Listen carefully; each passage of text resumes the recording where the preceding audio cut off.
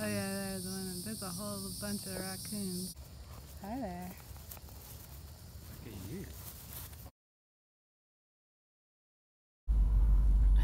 I'm sorry, excuse me. From Michigan, used to work at both CIA and the Department of Defense.